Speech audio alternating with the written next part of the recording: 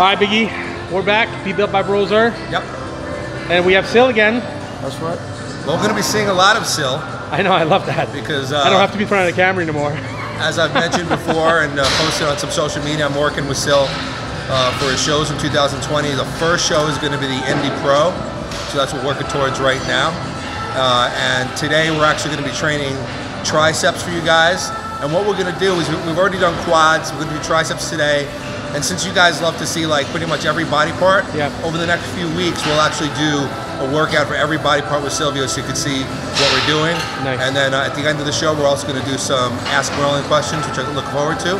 Sil, Sil? Sil, this is like the second week full time like you've been doing this kind of right. program. That's How's it going? It's really going going real great, and uh, I love the way my body is responding. Also, the training uh, part of it uh, has kind of uh, very basic to, you know, really dig, dipping into the muscles and then uh, pulling out a lot of uh, uh, tissues that could, you know, have been resting.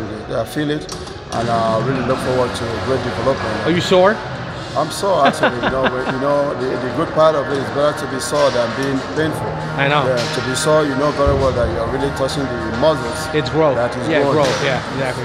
Awesome. So we do some triceps. Yep. And ask Merlin. It's good to have you with us Sil again. All right, That's man. right. Okay, guys, so what we're starting off with on triceps today is actually a superset. First exercise is the tricep push out using a short straight bar. He's laying back on an incline bench uh, set to about 55, 60 degrees. And as you can see, he's not pushing down, he's pushing outward. So this is really like a hybrid movement uh, between a push down and a push out or a push down and an extension. Really, really good for building mass and the entire tricep. Very strict movement and also a very good alternative to using a barbell. Now he's going to carefully get around here. Drop it down to 50 Sil. And what he's going to do the second half of the superset where he's going to do a pure tricep push down using the same bar, the same grip. But now the body is angled forward so it's a completely different way of pushing down. The central nervous system and the muscles have to deal with something different in the superset. So even though the movements look similar, they're not similar to the body. He's going for a complete and total pump here. He's always going for full range of motion to the top, as you can see, getting that stretch, and all the way down to the bottom for a full contraction, looking to improve the mass and the separation of the triceps. Great way to start off a tri workout. Okay, guys, so now that I got Sil nice and warmed up from that superset, we're gonna go into a very basic movement here on the Smith machine, close grip bench press. But what we're doing is we have the stoppers set so that it's a few inches above his chest. What this is doing is helping to take some of the chest out of the movement and really just doing a tricep lockout. So we're really hitting the triceps a lot harder than if he was bringing the bar all the way down to the chest. Of course, you could also see his grip is a little closer than he would with a normal bench press. So again, that also affects the triceps. He's using a good controlled negative to get to the bottom. He's not bouncing off the bottom. And then he's using pure tricep power to push to the top and lock out. This is such a good move of building mass. I can tell you that this might be a good alternative to doing the regular grip bench press because of those lockouts It hits the triceps really hard. Okay guys, this is one of my favorite movements for hitting the long head of the triceps. Most people do it with dumbbells. I like to do it here on the cable because it provides constant tension throughout the movement and it also provides an amazing contraction at the top, especially the way he's doing it. Not sure if you can see it, but he's actually angling his body away from the working arm a little bit, which allows him to better work against gravity. And since his elbow is not straight up and down, it's pointing at an angle, he can get a better contraction at the top. Like I said, this works the long head of the tricep, the belly of the tricep, gives you a much better front double bicep shot. Of course, he's gonna do it here on the other arm as well. Give this a try if you're looking to build that long head of the tricep and the dumbbells aren't getting it done. Come on, Sil. Squeeze them out.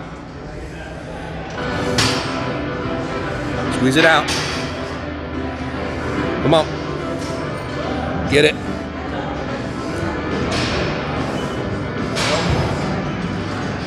Come on.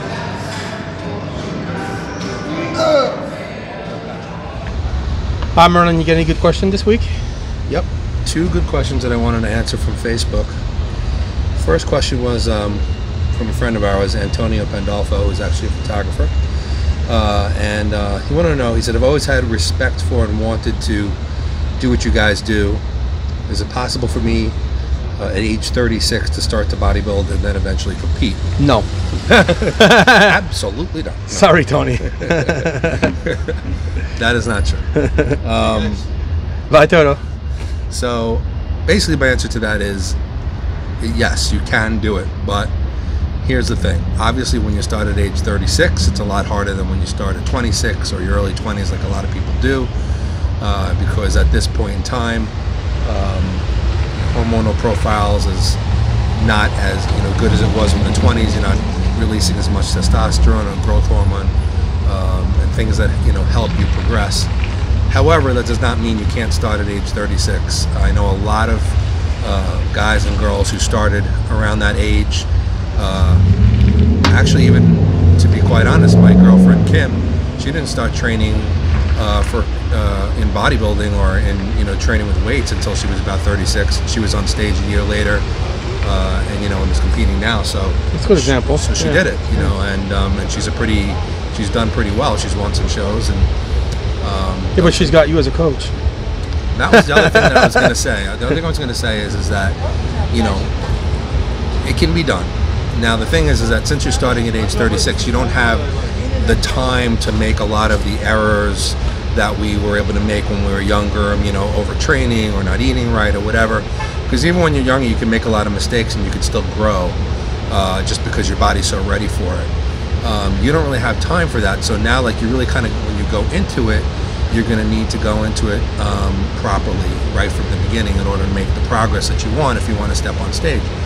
So I would say, you know, hiring a coach, uh, a good coach in general, just to set you at least set you off in the right direction in terms of you know a good diet, a good training program you can progress on, somebody to work with that can keep you accountable and make sure that you're doing all the things that are right for your age. Um, sure you get started correctly and progress correctly as you go along. So, you know, basic answer is yes, you can definitely do it. It's been done many times before. There's a lot of people these days, especially turning their turning pro in their 40s, competing at high level in their 40s, who didn't start into their 30s, but generally they have some type of help. They have a coach, which is obviously a very big thing these days.